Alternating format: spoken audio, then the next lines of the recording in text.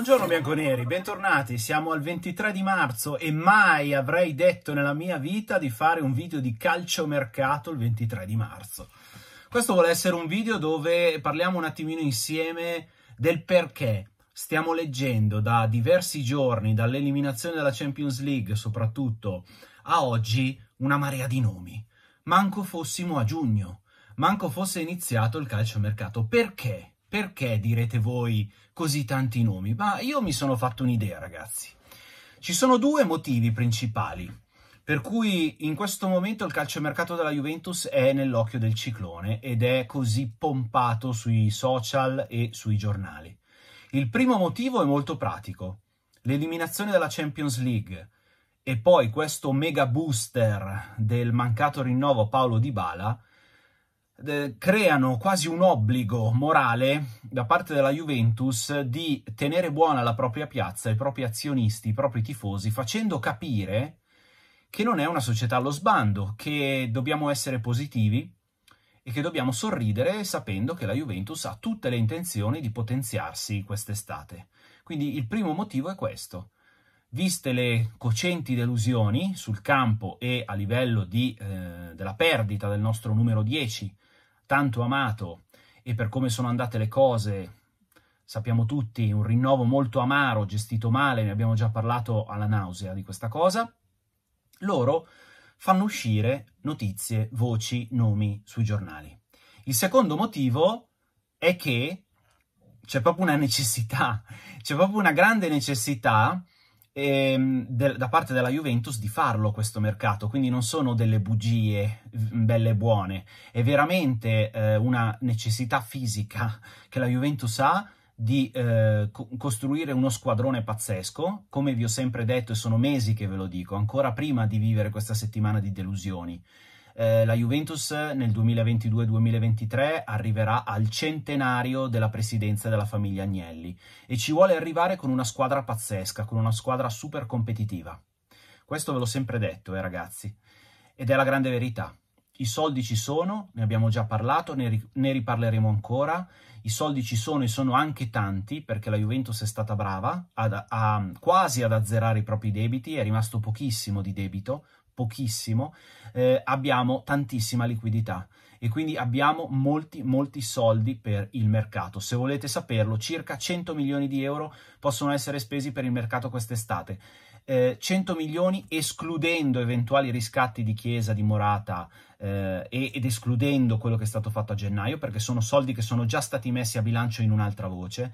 100 milioni che non vuol dire da pagare subito per il cartellino intero di un giocatore, perché come ben sapete, ormai seguendo me e tanti altri che vi parlano di calciomercato, i cartellini dei giocatori sono spalmati negli anni, quindi un giocatore che costa 70 milioni ne dai 20, 20, 20 e altri 10 in 4 anni l'hai pagato, quindi quest'anno dovremmo pagare solo 20, non 70 per quel giocatore lì. Vi ho, vi ho fatto proprio un esempio terra-terra. Con questa consapevolezza io penso che la Juventus si stia già muovendo perché voi dovete sapere che quando si fa il mercato in estate non è che le trattative iniziano a giugno, ovviamente. Eh, bisogna muoversi un po' prima e marzo è un mese chiave perché le stagioni stanno andando verso la conclusione, ci sono anche tanti parametri zero in giro da cui attingere eventualmente e poi bisogna cominciare a mettere in piedi le trattative, i tavoli di discussione con i giocatori, con i loro agenti e con le squadre di appartenenza, assolutamente. Però ragazzi io penso anche che tutti questi nomi che stiamo leggendo sui giornali, ehm, molti siano da depennare, nel senso che l'invito che faccio a tutti coloro che come me amano molto il calciomercato è di non diventare scemi, non, cerchiamo di non farci tirare scemi dai giornalisti. Molto spesso tantissimi giornalisti non sanno niente, ragazzi, ma niente, niente, niente. Eh, non lo sanno neanche di conseguenza insider di mercato, tutti, tutti, coloro che vi danno notizie giorno dopo giorno. Attenzione, prendete sempre con le molle queste cose e, eh, e non diventate appunto scemi perché in questo momento ci sono una quindicina di nomi che vengono associati alla Juventus. Mm, così a memoria mi vengono in mente eh, Bremer, Rudiger, Koulibaly, Windal, Cambiaso, eh, Udogi, eh, Renan Lodi. Giorginio, eh, Milinkovic-Savic, Pogba, siamo a 10, ehm, De Jong 11, ehm, Zagnolo, ehm, Berardi, Raspadori, siamo a 14, vado avanti, aspetta, eh, chi è che manca? Eh, ah sì, certo, Joao Felix, novità di, da ieri sera, eh, Salah, ehm, eh, poi, boh, siamo già a 16? 16, ma potrei andare avanti, forse mi, forse mi dimentico di qualcuno, aiutatemi voi. A parte gli scherzi, sicuramente molti di questi che ho nominato sono degli obiettivi reali, la Juventus ha chiesto informazioni, sta cominciando a mettere avanti le mani per cercare di capire la fattibilità. Molti di voi mi stanno scrivendo, Dan, eh, hai conferme su Salah? Hai conferme su Joao Felix? Io nel mio piccolo dico sempre no, io non ho nessun tipo di conferma, siamo al 23 di marzo, conferme non ce ne possono essere. In questo momento quello che ci può essere sono voci, interessamenti, trattative iniziate, ma conferme lo chiedete a me, poi chiede, chiedetelo pure ad altri che saranno sicuramente più ferrati di me, avranno notizie più calde delle mie, però io conferme in questo momento non ne posso avere. Ragazzi, a parte gli scherzi, 16 e più nomi associati alla Juventus nel, nell'ultima settimana, però vorrei ricordare a tutti voi quali sono i ruoli che la Juventus deve andare a ricoprire quest'estate. E allora parliamone insieme. I ruoli sono sei 6. Minimo. Allora, il difensore centrale. Abbiamo preso Gatti, che probabilmente verrà alla Juventus in prima squadra, ok? Non, non verrà ceduto, girato in prestito a qualcuno. Ma abbiamo un grosso problema, sia con Chiellini, che è completamente finito fisicamente, che con Bonucci, che come vedete ha dei seri problemi fisici. Sta mancando tantissimo questa stagione. Quindi Va bene Gatti, che può essere, diciamo, il sostituto di un Chiellini o di un Rugani a livello di ruolo. Ma attenzione che dobbiamo prendere un altro difensore centrale. Il difensore centrale può essere Rudiger, che è il nome più caldo, può essere Bremer, che è uno degli, degli obiettivi che la Juventus si era posta, però c'è una grande competizione dell'Inter al riguardo, o può essere Koulibaly, io sinceramente Koulibaly non lo prenderei proprio in considerazione. Ok, quindi primo ruolo di questi sei necessari, ve ne ho parlato, il difensore centrale, proprio per andare a sostituire anche forse Bonucci. Attenzione ragazzi a quello che vi sto dicendo, non diamo per scontato che Bonucci continui, rimanga, sia sempre titolare, eh, perché eh, l'età è quella che è, il fisico si sta dimostrando quello che è. Ok, l'altro ruolo è il terzino sinistro. Come ben sapete, Alexandro è assolutamente un giocatore da vendere. l'hanno capito finalmente, dopo tutti i nostri insulti, anche a Torino. Ok? Abbiamo da cap- bisogna capire cosa fare con Pellegrini, bisogna ancora capire De Sciglio, che però è molto poliedrico, secondo me alla fine rinnoverà. Ad ogni modo, diamo per scontato che Alexandro possa essere ceduto e allora a quel punto la Juventus ha bisogno del terzino sinistro. Qua i nomi ve li ho fatti prima, può essere Renan Lodi, eh, Windal, Udogi, Cambiaso, anche se questi ultimi tre che vi ho detto non sono tipicamente titolari in una Juve, ok? Quindi mh, di tutti questi forse Renan, Renan Lodi è quello con molta più esperienza, non lo so se sarà lui o se la Juve ha in serbo qualche sorpresa, però il secondo ruolo vacante, facciamo così con le ditine, eh, è il terzino sinistro. Il terzo ruolo, facciamo così che facciamo prima, il terzo ruolo vacante è quello del play barra regista basso.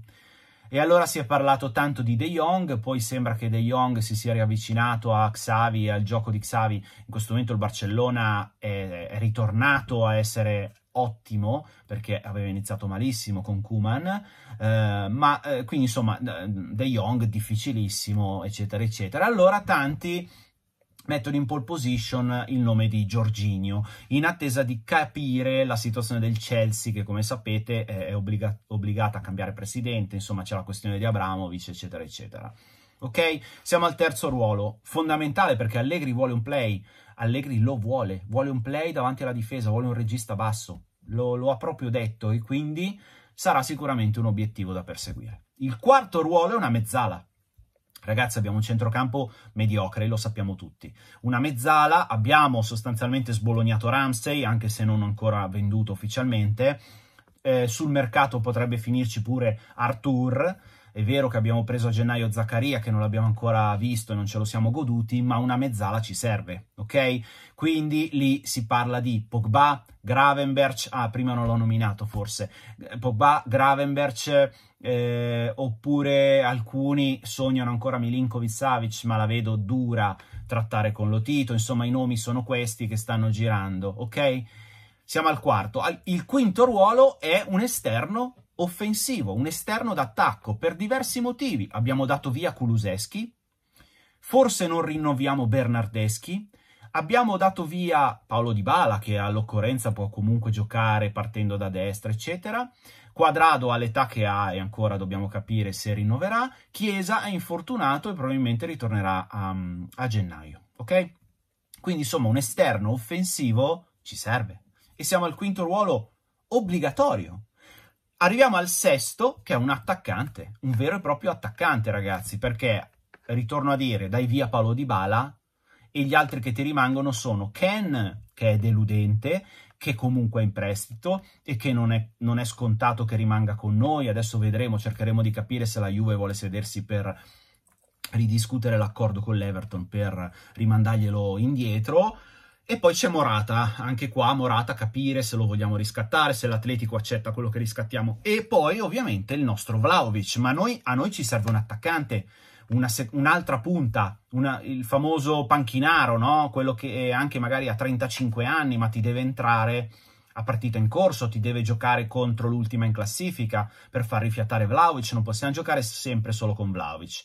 Quindi ragazzi, io concludendo il discorso, tanti nomi e vi ho detto attenzione, non diventiamo scemi perché i giornalisti in questo momento le sparano anche un po' un po' ne- nella nebbia, nella confusione. Qualche nome effettivamente la Juventus ha iniziato a trattarlo, ma la verità è quella. La verità è che la Juventus ha sei ruoli vacanti che dobbiamo riempire, quindi rischiamo di fare almeno sei acquisti quest'estate. I soldi ci sono e la Juventus ha tutte le intenzioni di fare un'ottima squadra.